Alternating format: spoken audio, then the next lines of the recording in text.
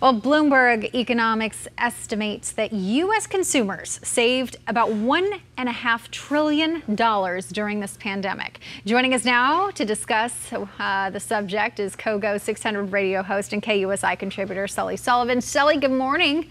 Hey, morning, Lauren. Good to see you. All right, so uh, on the heels of that, really quickly, happy one year anniversary with uh, the On the Air show. Very cool.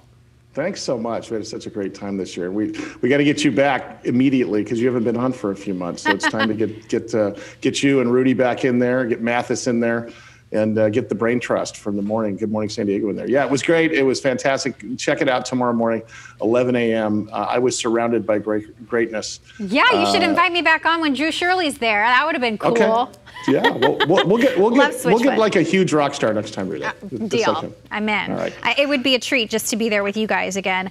But let's talk about this because I'm kind of surprised. I was discussing yeah. how much uh, my food budget has had to go up during this pandemic because I'm eating out so much more, trying to support all these businesses, uh, yeah. and, and just being lazy, truthfully. But 1.5 trillion dollars and growing apparently is what U.S. Yeah. consumers have saved during this pandemic. First of all, how do we know that?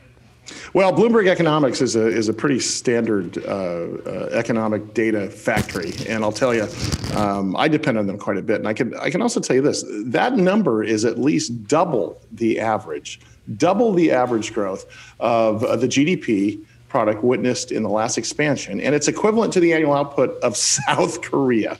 That is a huge amount of money, uh, and it's not just happening here in the U.S; it's happening across the world you know, $3 trillion in extra savings across the world. Uh, and that vast cash hoard creates a potential for a really powerful recovery, not to mention the fact that we've got a ton of pent up demand I've been talking about. And the better news, according to most economic analysts, is that we're going to continue to save uh, as restrictions uh, remain in place and COVID uh, and Congress doles out the stimulus. And one of the reasons is, is because you know, folks are scared a little bit when they don't know what the future is. And long story short, We've seen credit card balances go down. We've seen savings rates go up.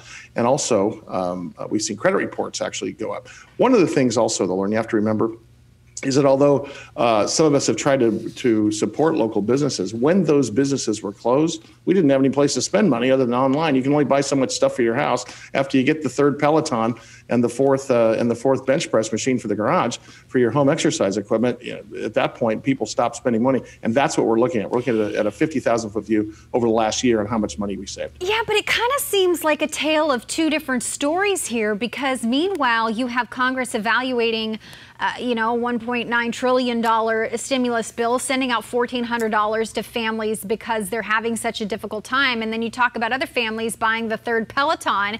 And it's really two different narratives that are going on here people really struggling and people who you know are, are kind of uh, seeing the fruits of, of, some of the the silver linings in all of this. And it makes you wonder are we doing the right thing with where we're infusing our, our money our stimulus money? Well you're so spot on here lauren and one of the reasons is because this two tales as you talk about has to do with the with with the businesses that were allowed to remain open and the businesses that were allowed to close. What is the number one industry in the world? It is tourism and hospitality.